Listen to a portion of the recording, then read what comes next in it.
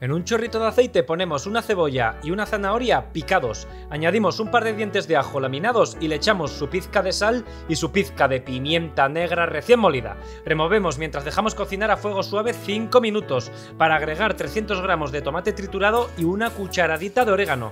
Mezclamos y dejamos que el conjunto se cocine 10 minutos más para pasar a añadir 500 gramos de carne picada de ternera o de cerdo. Desmenuzamos la carne y la integramos al resto de ingredientes para que se cocine a fuego fuerte que pierda su color a crudo. Mientras tanto, en una cazuela ponemos 30 mililitros de aceite de oliva y agregamos 30 gramos de harina de trigo. Mezclamos y dejamos tostar la harina un par de minutos a fuego suave. Hecho esto, añadimos 400 mililitros de leche, la integramos bien hasta que espese y nos quede una besamel sin ningún grumito. No queda más que aderezar con una pizca de sal, media cucharadita de nuez moscada, una pizca de pimienta blanca recién molida. Mezclamos y listo. Ahora rellenamos unas obleas de canelones ya cocidas con la carne y enrollamos bien, que quede el relleno bien encerrado en su interior. Finalmente, en el fondo de una bandeja para horno ponemos una fina capa de besamel, la extendemos por toda su base, ponemos los canelones sobre esta besamel, cubrimos todo con el resto de la salsa y espolvoreamos con un poco de queso rallado, tipo parmesano o similar. Acabamos horneando a 220 grados centígrados durante 10 minutos para gratinar el queso y hecho esto obtendremos unos canelones de carne facilitos, deliciosos y que son pura ambrosía. En un chorrete de aceite ponemos 500 gramos de calamares o chipirones cortados en trocitos. Los cocinamos a fuego fuerte durante un par de minutos. Pasado este tiempo retiramos y reservamos los chipirones. Ahora en estos mismos jugos ponemos una cebolla, un pimiento rojo y un par de dientes de ajo, todo ello picado.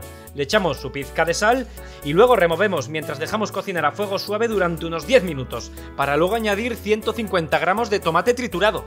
Mezclamos y dejamos cocinar 10 minutos más, siempre a fuego suave. Hecho esto, añadimos 150 gramos de arroz redondo, lo revolvemos e integramos durante un minuto y luego añadimos 100 mililitros de vino blanco. Dejamos evaporar durante un par de minutos a fuego fuerte y hecho esto, devolvemos aquí los chipirones. Añadimos 400 mililitros de caldo de pescado caliente, añadimos una cucharadita de tinta de sepia o de calamar y removemos todo brevemente.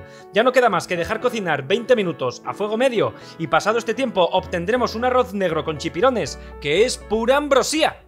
En una cazuela con abundante agua ponemos la carcasa de un pollo asado, añadimos restos de verduras que tengamos por la nevera, cebolla, zanahoria, pimientos de diferentes colores, la parte verde de un puerro, un manojo de perejil, tomate, apio, podrías utilizar las verduras que quieras. Calentamos este agua y cuando comience a hervir saldrá esta especie de espumilla. Estos son impurezas de los huesos y de las verduras. La retiramos y la desechamos y cuando el agua esté bien limpia, tapamos y dejamos hervir todo el conjunto alrededor de una hora a fuego muy suave. Si lo haces en olla a presión con 20 minutos será suficiente. Pasado este tiempo destapamos y colamos el caldo. Aplastamos los restos con la ayuda de un cucharón para extraer todo el caldo que podamos de aquí y que se vaya a la cazuela, que es donde debe estar. Y ahora tapamos y metemos en la nevera durante una noche entera.